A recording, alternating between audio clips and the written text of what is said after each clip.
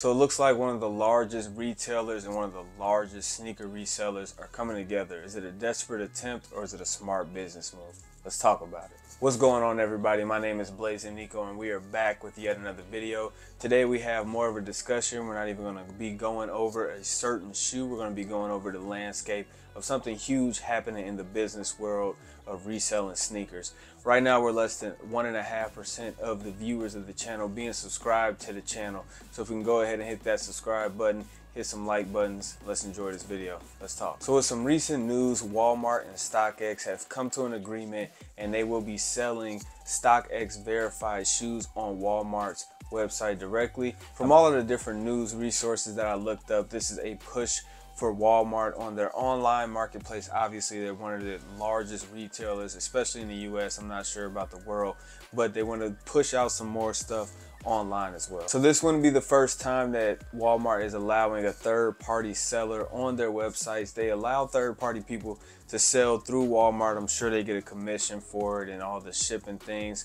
Probably goes through a Walmart warehouse or they have a specific UPS, FedEx, UPS thing system that they use, but this time they are going through StockX for verified resold sneakers. That being said, I'm pretty sure you were able to sell, if you had a third party account, sell sneakers on Walmart, but obviously there was no authentication process, verification process for those shoes. So adding StockX to Walmart is definitely a huge change for their system. In terms of the sneaker market right now, in terms of resale and honestly retail as well, a lot of shoes are sitting. So maybe StockX is trying to get into more of the retail side where they can have that retail presence instead of people going directly to StockX or maybe it's the opposite. Walmart wants a little bit more of that hype more of the sneaker game into their website for their online platform to grow as well. So even though the shoes are coming from the Walmart website, they are pre-verified shoes and they will actually ship directly from StockX. So I went ahead and checked out Walmart's website just to see what the prices were on a few shoes. So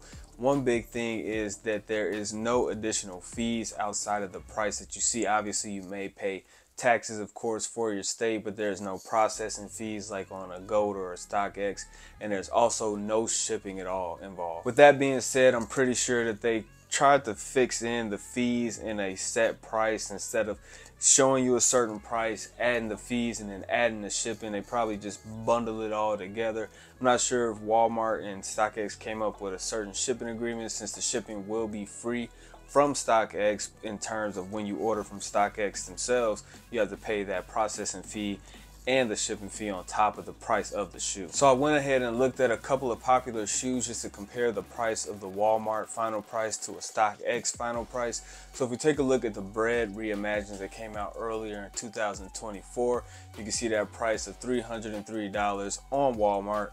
And then when you go ahead and put in a StockX, it's actually a little bit cheaper on StockX. So in this case, buying them from Walmart, you actually do not save money when it comes to purchasing from this platform to that platform, but it also varies by shoe and by size. Now, if we take a look at the Jordan 11 Low Space Jam that also released in 2024, the price is sitting at like 223 if I got my numbers correct on the Walmart website, you know, prior to taxes and everything. But then I went ahead and added to cart for StockX and you can see we're at 252, 253. So you're also saving about $30 on this shoe. So it really is case by case. You need to check the shoe on Walmart's website, all the fees, blah, blah, blah, the taxes. You need to check on StockX as well. So it may be a case where on this shoe you can save a little bit of money, maybe on a hype shoe, maybe smarter to go through StockX directly, but honestly, I, I don't see a problem with either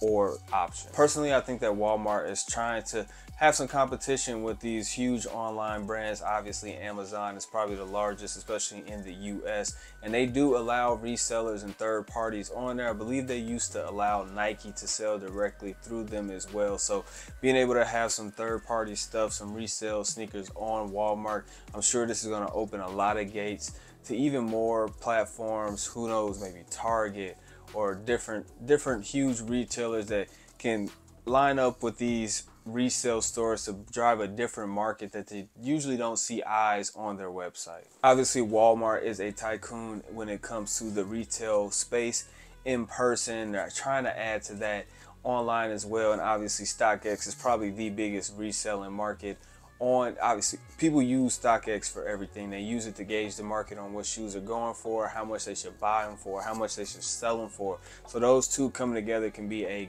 great business venture. Like I mentioned, the sneaker market has been down, so being able to push it on a different website, get different eyes on it, maybe they can expand their horizons to different people that they don't usually get that come directly to StockX. So I can see it definitely being a great thing for both brands and honestly for the sneaker market in general. These two huge businesses are trying to grow and reach new platforms and so am I. We're sitting at 771 subscribers at the time of this video. I want to thank you guys for tuning in. The journey has been a great time so far. I love the grind.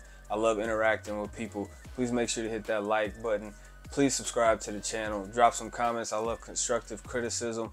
I, love to talk to everybody in the comments down below. Until next time thank you guys